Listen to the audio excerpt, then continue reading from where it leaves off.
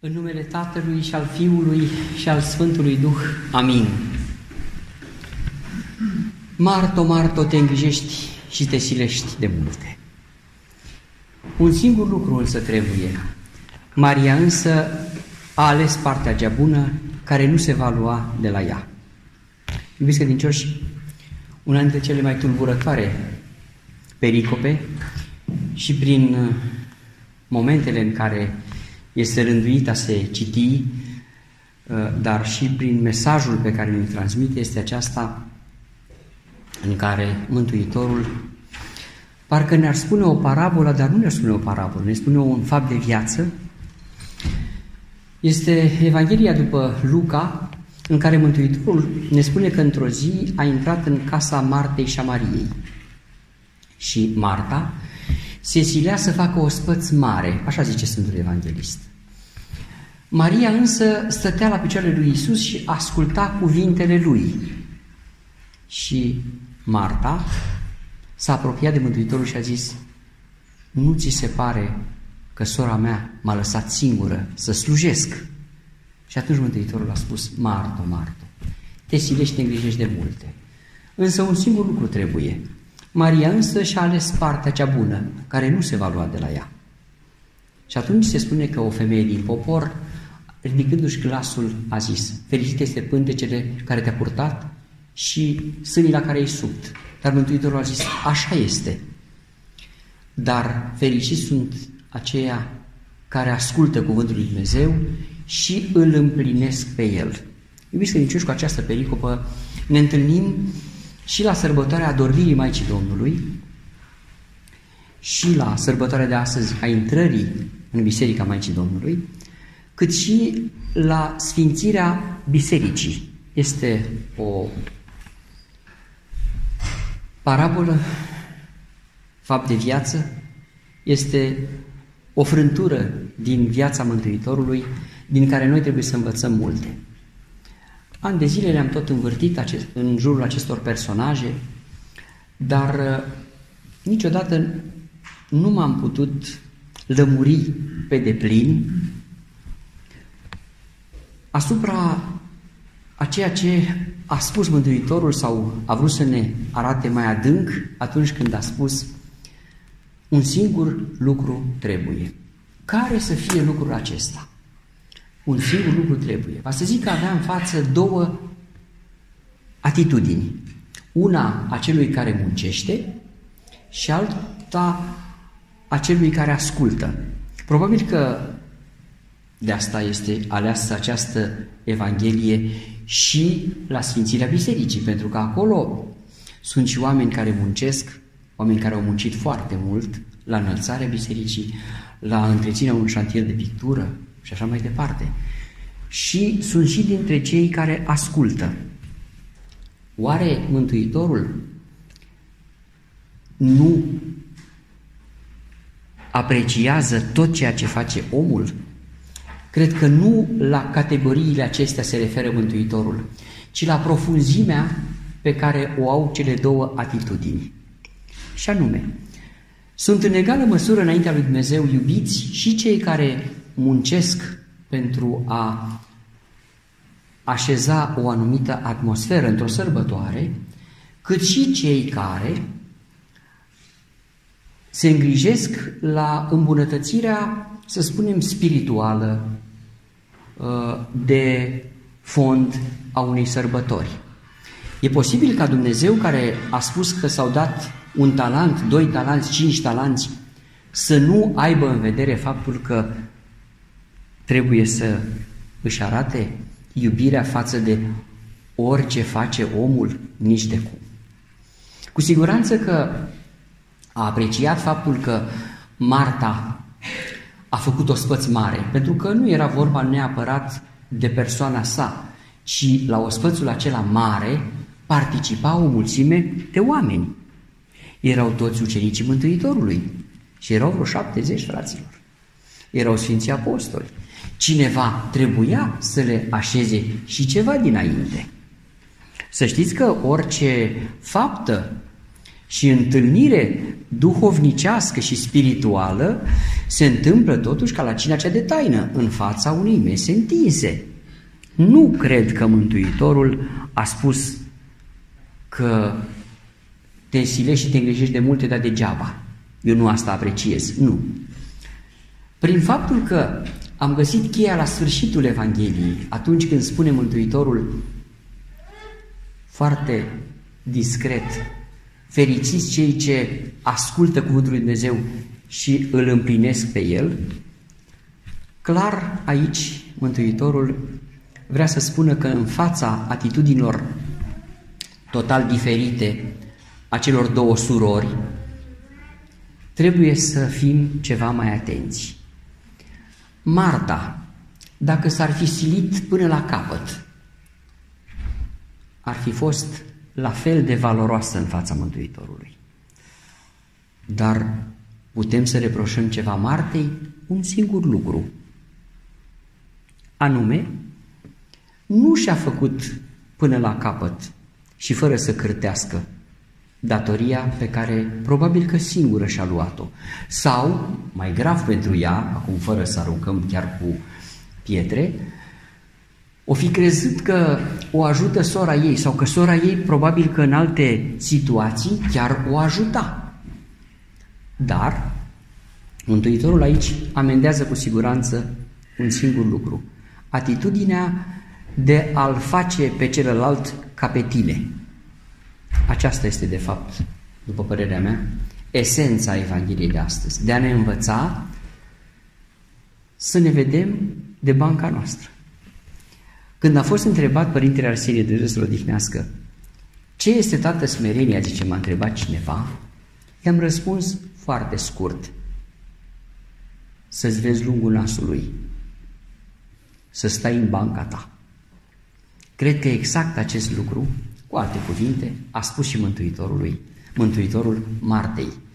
A apreciat, deci Marta a aflat că fapta ei că s-a silit să facă ospăț și chiar i-a ieșit, a fost văzută de Mântuitorul, pentru că și aici este un aspect pe care noi de multe ori îl uităm. Atunci când vedem pe cineva că face lucruri chiar dincolo de fișa postului, să spunem așa, uh, întotdeauna uh, uităm că singurul veșmânt al faptei bune pe care a făcut-o cel care se străduiește este lauda pe care o aude din gura noastră. Nu este o laudă de șartă, ci este o constatare și o încurajare asupra faptului că am văzut ceea ce a făcut, cunoaștem efortul sau îl bănuim dacă nu suntem de aceeași parte a preocupărilor, cert este că Mântuitorul astăzi a apreciat ceea ce a făcut Marta, până la un punct. Și ne-a spus un lucru tulburător, odată cu ceea ce a spus ei, ne-a spus și nouă. Un singur lucru trebuie. Bă, care o fi, bă, lucrul la care trebuie? Să stai în banca ta înseamnă exact ceea ce Mântuitorul aștepta ca Marta să învețe cu timpul. Și anume la Maria, pe care iară o apreciază că și-a ales partea cea bună, totuși partea cea bună nu este cu siguranță a sta cu gura căscată ci a lua aminte și a împlini cuvântul lui Dumnezeu. De ce nu o vedem noi pe Maria că se duce la Mântuitorul să-l tragă de veșminte? Învățătorule, zi ăștia să stea odată locului, că mă deranjează și pe mine. Acest lucru, faptul că nu l-a avertizat pe Mântuitorul că o deranjează ceva la sora ei, acesta este lucrul singur care trebuie. O să spuneți de unde sunt eu atât de sigur de aceste lucruri? Din trăire, bineînțeles. Pentru că nu putem să încurajăm pe cineva care are întotdeauna tendința, care este perfect, însă, și are tendința să-i facă și pe ceilalți perfecți. Păi de ce nu ne raportăm la Dumnezeu? Dumnezeu trage de noi să ne facă perfecți? Nu, ne arată o cale, ne încurajează, ne dă niște talanți ca să ajungem noi să fim perfecți, dar nu ne trage Dumnezeu așa, voi veni, vină încoace, de dacă nu, gata, vine sfârșitul cu una cu alta. Nu, nu, nu. Trebuie să învățăm și noi atitudinea de a ști să ne purtăm cu celălalt. Este fals acreditată ideea că trebuie să îl uh, facem pe celălalt ca pe noi, dacă noi, vezi, Doamne, am ajuns la un anumit nivel. Nu. Cred că o mare parte din nefericirile care bat la ușa oricărei familii tinere sau mai în vârstă, este aceea de a începe viața lângă cineva crezând că îl vei da pe brazdă. Acesta este cel mai uh, greșeala cea mai mare pe care poate să o facă cineva. Să se însoțească cu cineva crezând că în viață o să-l dea pe brazdă. Dar ce înseamnă să-l dea pe brazdă? Să-l facă ca pe el sau ca pe ea. Să o fac la fel când e nevoie să ne ducem la un spectacol, să ne placă același gen de spectacol. Când ne ducem la biserică, să stăm numai cu ochii acolo ațintiți. Nu.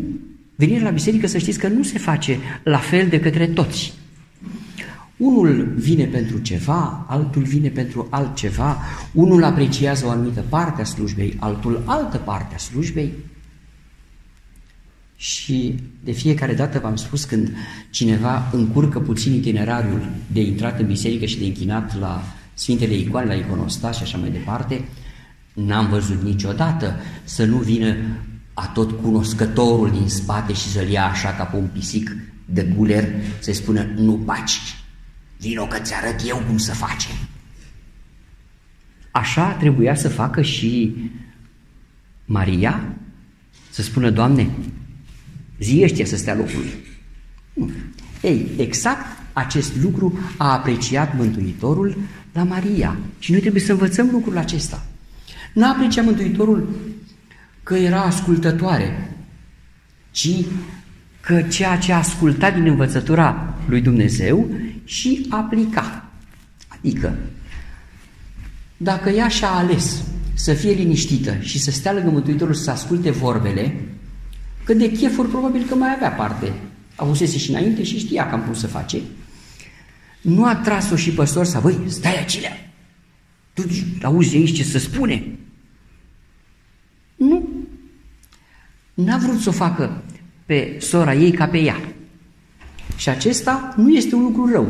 Pentru că de aici trebuie să învățăm și noi cum să ne comportăm cu celălalt. Dacă celălalt are alt gen de preocupări față de noi, trebuie să-l lăsăm să și le cultive, fraților. A, acum nu niște preocupări de astea de să ne uh, mărească distanța între noi, nu. Dar dacă cineva este mai practic, și, de exemplu, atunci când se apropie un hram al unui biserici sau un șantier, cum am zis și de pictură al unui biserici, uh, dacă cineva are mai mult simț practic, păi lasă-l, frate, să-și dezvolte spiritul ăla și să ajute la partea de șantier. A, dacă ție îți place să asculți cuvântul Domnului, mă să-l asculți, dar după ce ai dat și tu o mătură pe la șantier, după ce ai aranjat și pe alții și, mai ales, să nu te apuci să-i faci pe toți ascultători. Băi, stați așa puțin, gata, din acest moment, toată lumea, fiți atenți că e slujbă și s-a terminat. M-a întrebat cineva odată, când aveam un șantier la, aici la biserică, ce părinte, ce facem? Că sunt trei sărbători la rând. Păi zic, adică, păi mai muncim sau nu mai muncim? Zic, am să vă răspund cu o singură întrebare. Dacă nu munciți aici la mine, ce face patronul cu voi? Pe cine trimite în altă parte? Și mulțumesc, ăsta e și răspunsul. Adică de muncitor, cum veți munci? Da? Bun. Și credeți că lui Dumnezeu nu-i place ca biserica să fie frumoasă numai pentru că este un sfânt sau o duminică? Păi eu dacă vă las pe voi trei zile, cu siguranță că vă mai adun în doi ani înapoi. Că dar de dorele e plină lumea. Numai să-l scapă dorele de mână și s-a terminat cu șantierul. Și atunci, păi, dar bine, dar e sărbătoare. Bun, e sărbătoare și dacă voi munceați în altă parte, nu mai era sărbătoare? Adică numai la biserică ne gândim că e sărbătoare și în altă parte nu. Zic nu, fraților, să faceți la fel cum ați face în alt șantier. Cred că este o atitudine pe care eu am învățat-o de la Mântuitorul de astăzi. A apreciat-o pe Marta, singurul reproș pe care i l-a adus a fost acela că să-și vadă de ei. Adică dacă ți alegi partea bună, să nu ți-o alegi numai până la jumate. Să ți-o alegi de tot. Bă, fraților, eu sunt om muncitor. Tată, dacă ești muncitor, dă cu munca. Măi, știți, eu uh, sunt mai contemplativ, mă, contemplativ, contemplativ, dar vii la biserică după ce ți-ai așezat copiii, după ce le-ai făcut de mâncare, după ce i-ai dus călcați, spălați la școală sau la grădiniță, după ce ai luat praful din toată casa, atunci poți să vii. Că altfel nu e primită rugăciunea ta. Pentru că Dumnezeu ne vrea să ascultăm, dar și să împlinim voia sa.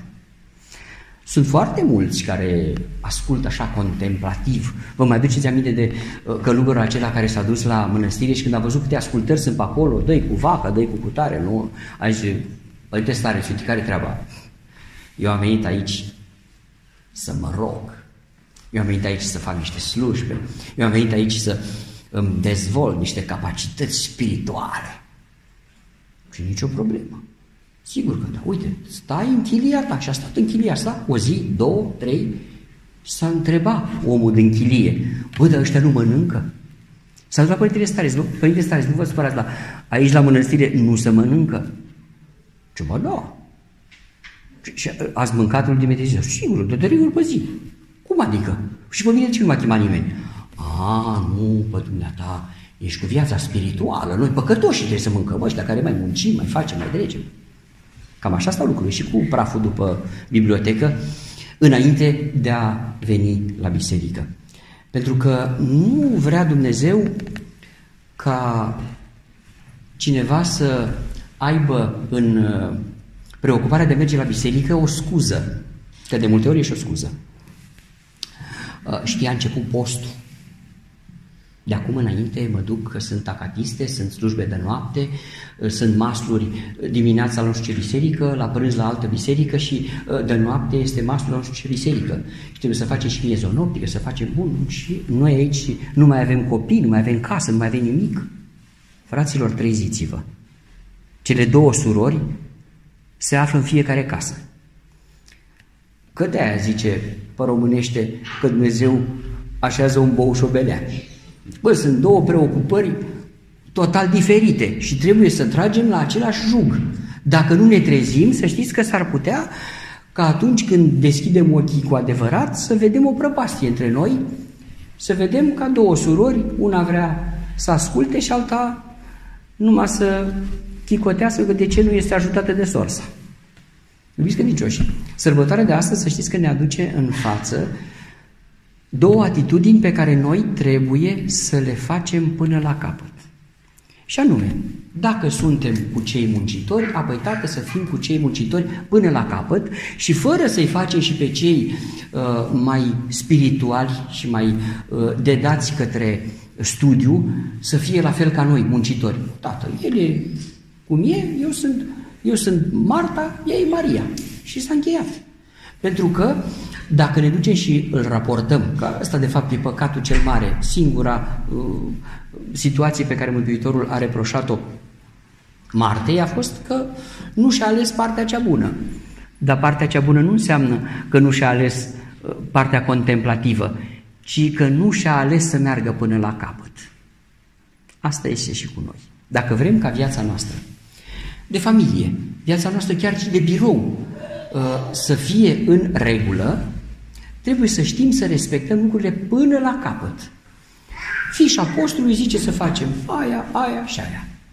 După ce ne-am lămurit că asta e fișa postului și nu ne uităm în stânga și în dreapta dacă celălalt și-a făcut și el după fișa postului, cu siguranță că suntem, unul, și niște fericiți că ne vedem numai de ale noastre și nu amestecăm lucrurile, dar dacă începem să ne uităm, mă, da, uite, eu fac lucrarea asta, dar asta trebuia să o fac cu tare. Sau uite, eu o fac pe asta, dar uh, ar trebui să fie pusă în evidență și de lucrarea pe care o are colega mea de birou. Și tragi de ea, băi, soro, e gata lucrarea aia, că eu sunt gata și trebuie să ducem pe amândouă odată. Nu. Nu. Pentru că dacă ne uităm peste gard la celălalt, s-a dus cu fericirea la rații. Începem să trăim niște frustrări fantastice, că ia uite, numai eu muncesc aici. Și numai eu sunt obosit. Păi, bineînțeles. Vă mai aduc aminte de inspectorul acela care vine la București la Episcopia Buzăului, când eram pe la seminar, era Dumnezeu să odihnească viitorul de atunci mitropolit al uh, Ardealului, Antonie, care a primit de la București o mare inspecție, care a stat o săptămână pe capul episcopiei și a cercetat tot. Și acum, preasfințitul de atunci știa că are un contabil care vine cu două ore înainte de a începe programul și pleacă cu două ore după ce se termină programul. N-a spus nimic inspectorilor și a așteptat ca la darea de seamă să afle dacă au apreciat în vreun fel inspectorii pe acest contabil. Și văzând că nu se face nicio referire în plus la ceea ce au găsit ei, după ce i-a lăsat pe inspector să-și prezinte și procesul verbal și toate cele, le-a spus un singur lucru. Nu vă supărați, dar eu am aici un om destoinic pe care trebuie să scoatem în evidență. Despre ce e vorba preasfințite? Păi am contabilul șef care vine, ați găsit lucruri, ce lucrurile sunt în ordine, foarte bine. Ce, dar n-aveți nimic să spuneți în plus? Pe ce să spunem în plus? Păi dar omul ăsta vine cu două ore înainte de începutul programului și rămâne după program încă două ore. A, ce preasfințite, vă spun eu ceva, dați-l afară. Păi de ce? Păi ce am găsit noi este o lucrare perfectă pe care trebuia să o facă în 8 ore. Dacă a făcut-o în 12, trebuie să dați afară. Și așa stau lucrurile, să știți. Pentru că excesul de zel nu este un lucru bun. Excesul de zel probabil că are alte resurse. Să te vadă bine șeful, să dai bine în ochii cu tare sau cu tare nu. Trebuie să știm că dacă avem de făcut ceva, trebuie să facem acel lucru în timpul pus la dispoziție. Mi-aduc aminte că erau examene la care mi se cereau vreo patru sau cinci puncte.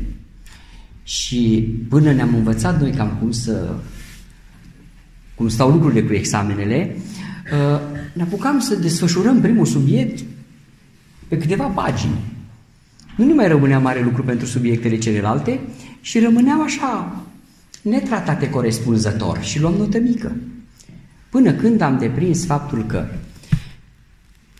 tot timpul întreg trebuia să fie împărțit pe subiectele respective. De ce? Ca să dăm fiecărui subiect posibilitatea de o anumită desfășurare. Altfel, lucrarea devenea haotică, devenea uh, neuniformă, devenea netratată până la capăt. Cam așa se întâmplă și cu viața noastră. Dacă nu știm să facem lucrurile pentru ziua în care ne aflăm, pentru perioada de vârstă în care ne aflăm, pentru că suntem poate la școală, apoi suntem în viața de familie, apoi în viața de părinte, în viața de bunic, fiecare etapă trebuie să fie foarte, foarte clar determinată și delimitată. Nu ne apucăm acum să facem din școală uh, un mod de viață pe care nici măcar la 35-40 de ani să nu-l mai terminăm. Să facem 10-15 facultăți paralele, numai cât un an în fiecare, și cât un semestru și atât. Nu, trebuie să le luăm la rând. De exemplu, eu personal, când m-a apucat uh, teza de doctorat, când fetele mele se pregăteau să meargă la clasa întâi, mi-am dat seama că ceva nu e în regulă. Și am zis, hai mai repede că nu vreau să mă vadă copiii mei că stăm în aceeași bancă. Nu că mi-ar fi căzut din galoane, Doamne ferește, dar le sperii, tată. Odată au, au întrebat niște fini, zice, da, Așa face și voi acasă. Ce? Toată noaptea scrieți la calculator? Și nu. Păi ce, dar tati de ce? Și cu mami îi dictează și caută până cărți. Ce, dar până când o să mai fie școala asta? Să speriați dată fetele. Și atunci le-a zis, uite care e treaba. Eu am avut și altceva de făcut, în sensul că la biserică am avut și un șantier și trebuie să termin o lucrare, după care se încheie. Aoleu, zice bine că nu e așa toată viața. Pentru că dacă se lungește prea mult o etapă, cu siguranță că celelalte etape sunt văduvite de ceva. Așa este și cu relația dintre noi. O relație dintre noi trebuie să fie strict profesională când e vorba de fișa postului de muncă și strict personală atunci când este vorba de o întâlnire cu o rudă sau cu cei casei, pentru că dacă amestecăm aceste planuri, Cu siguranță că nu ne-am ales partea cea bună. Înseamnă să amestecăm dincolo ceva, dincolo ceva și Mântuitorul o să spună te silești și te îngriji de multe, un singur lucru însă trebuie. Accentul cade pe un singur lucru. Un lucru pe zi mare face mai mult decât am, dacă am căutat să facem o sută de lucruri mici. Acele lucruri mici s-ar putea să fie luate de vânt, să nu le mai vadă nici cei pentru care le-am făcut și pentru că vreau să închei într-un mod frumos vis-a-vis -vis de învățătura de astăzi, mai am un singur capitol foarte mic și anume, nu cumva se referă și la viața noastră spirituală, ceea ce a zis Mântuitorul astăzi, în sensul că de multe ori când vedem pe cineva că greșește din punctul nostru de vedere, ne simțim dator să-i dăm sfaturi cum să iasă din acea situație. Aș vrea să mă înțelegeți că în ultimii ani mă străduiesc să învăț ceva, să nu mai dau sfaturi celui care nu mi le cere, să nu răspund la provocări pe care nu mi le așează cineva în față, pentru că altfel încep să dai sfaturi tuturor și să uiți de tine și să devii până la urmă un plicticos pentru cei care te ascultă și să ai așa o aură de a, a tot știutor. Nu e chiar așa. Se spune că odată un înțelept a primit o vizită a unui foarte mult instruit fiu duhovnicesc al cuiva care îi recomandase întâlnirea. Și a început să poarte un, un dialog așa foarte de sus și să retrebe tot felul de lucruri. Și când îl întreba ceva foarte clar, uh, acel învățător zicea, nu știu. L-am mai întrebat vreo 5-6 lucruri foarte, foarte punctual, la care acesta a răspuns, nu știu, nu știu, nu știu. Și atunci, da, mie mi s-a spus că sunteți un învățător luminat și recunoscut. La care acela foarte smerit a răspuns, dar eu sunt învățător luminat și cunoscut și iscuțit pentru ceea ce știu, nu pentru ceea ce nu știu. Cred că aici stă o mare înțelepciune. Dacă suntem pregătiți pe un domeniu, acela e domeniul nostru. Nu trebuie să ne dăm într-o parte sau într-alta. Nu trebuie să intrăm, de exemplu, dacă ne ducem cu uh, nepoata la, la doctor, să începem să spunem noi cam cum știm noi de, de medicină. Nu, tată. Eu sunt ce sunt. Ți-am adus pe mâna matale pacientul și vezi ce are și făi ce are. A, nu, că mai vine la câte un firoscos la, la cardiolog și zice, știți că am suflu sistemic, nu știu ce, cu Stai, nene, să văd și eu, să facem niște EKG-uri, să citim ceva aici. Nu că vă spun eu ce am. Păi, mă, nene, ai nevoie de mine sau nu ai nevoie de mine? Am nevoie să ajung neapărat la Cluj ca să fac o intervenție pe cor deschis. Dar cine ți-a zis asta? Așa simt eu, pentru că așa am învățat eu și așa știu eu mai bine. Asta ce înseamnă? O atitudine de a trage pe Mântuitorul de veșminte, să spună, Învățătorule, nu ți se pare că sora mea m-a lăsat singură să slujesc?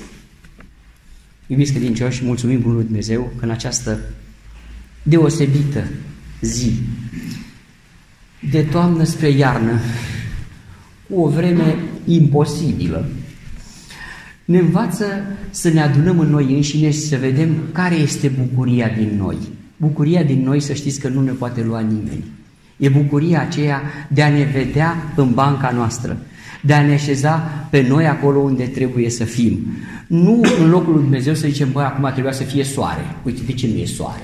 Ei, nu e soare că nu e soare. Înseamnă că trebuie să ne bucurăm de vremea pe care o avem afară, chiar dacă din punct de vedere uh, termic este o vreme, zis, imposibilă, este o vreme pentru care noi nu trebuie să fim dependenți, ci bucuria de a fi cu noi înșine, de a ne vedea de locul nostru, de a nu trage pe Mântuitorul de veșmânt să dăm în primire păcutare sau păcutare, este bucuria de a trăi frumos. Așa să ne ajute Bunul Dumnezeu.